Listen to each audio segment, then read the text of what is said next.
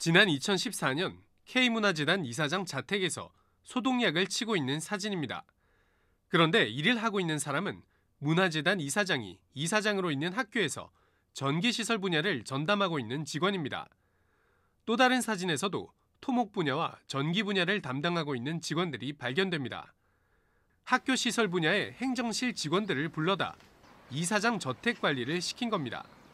이런 일은 이사장 저택의 유지 보수가 필요할 때마다 반복됐습니다. 3년 전 이사장 저택에 수도관을 설치하고 있는 공사 사진입니다. 역시 학교 직원이 찍혀 있습니다.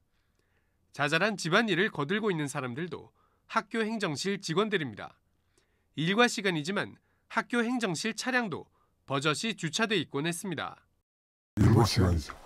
뭐 아침 9시 뭐 이렇게 10시에 와서 2, 3시에 가니까 전기를 봐주고 간다든가 아니면 뭐 계집 지휘는지 뭐 청소해주고 간다든가 저택뿐만 아니라 문화재단에서 운영하는 미술관 일까지 학교 직원들을 차출했습니다.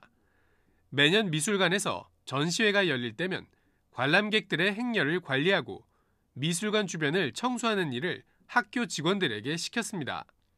순번으로 짜가지고 나와서 이제 두 명씩 조 짜가지고 사택이니까 못 올라오게 사람을 통제하고 학교 측은 관련 의혹들을 인정하면서도 과거에는 문제가 될 일이 아니었다고 답했습니다.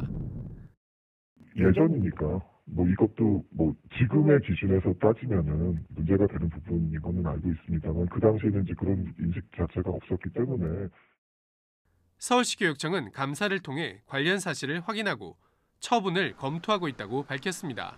EBS 뉴스 황대현입니다.